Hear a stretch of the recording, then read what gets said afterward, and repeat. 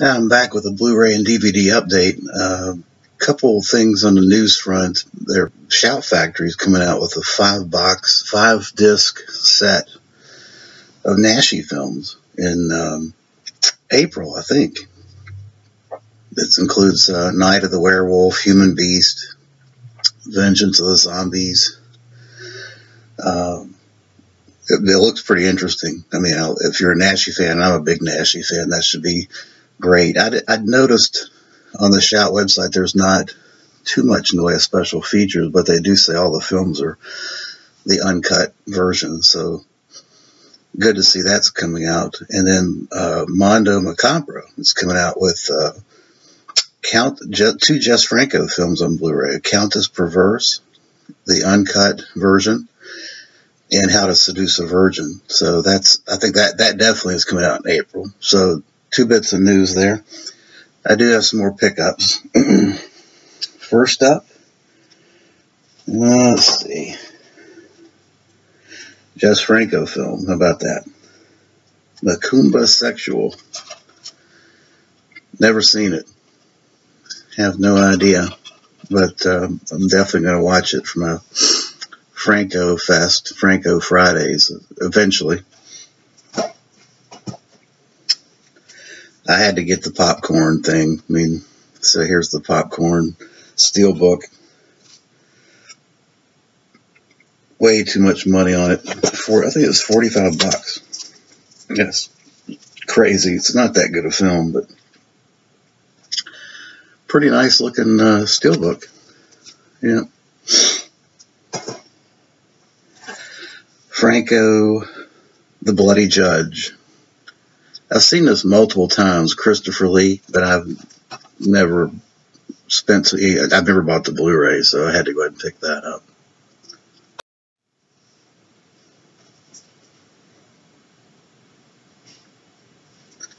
Here's another Franco film, Succubus. I tell you, some of these need. Uh, this is a Blue Underground. These all these need a Blu-ray release, and I guess eventually they will, but I just can't wait.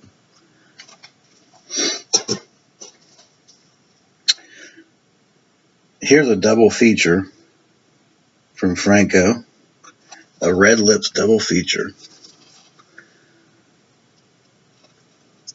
Kiss Me Monster is on. I mean, I got it for Kiss Me Monster. This is another Blue Underground release. Looks pretty good. I went ahead and double dipped after listening to Seth's little update on uh, a review, rather, of Slaughterhouse, I went ahead and picked this up. This is chocked full of special features. So it'll be interesting to compare it to the 88 Films release. Then I got another Jess Franco update. This is uh, another double feature, but this is on Blu-ray. This is Silence of the Tomb, and then The Sinister Eyes of Dr. Orloff. Blue Underground. I, I bought all these from uh, Diabolik. Hands of Steel, 88 films. This looks like a fun, I've never seen this one either, Hands of Steel. This is from the Italian collection. And then I bought some Roger Corman. These kind of fell in pricing, so I went and picked them up, mainly because I didn't want to pay all the money for the Blu-ray without the special features. It didn't seem like it had that much of special features, but anyway, I bought the Time Walker, uh, Velvet Vampire, and it also has Lady Frank. I must have eight copies of Lady Frankenstein, but yeah, I mainly bought it for Time Walker.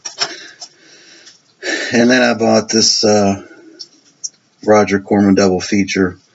Uh, this looks like the uh, some Mad Max ripoffs. Death Sport and Battle Truck. Death Sport and Battle Truck. And finally, the first thing I've added to my collection in this area, uh, Buster Keaton.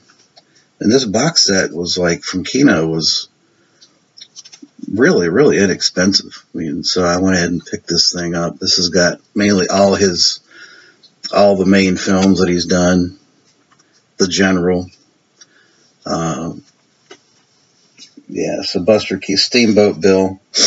Yes, that's a Buster Keaton set. I got this off of Amazon. Okay, well, that'll do it for my quick and brief update. Appreciate you watching. Thanks.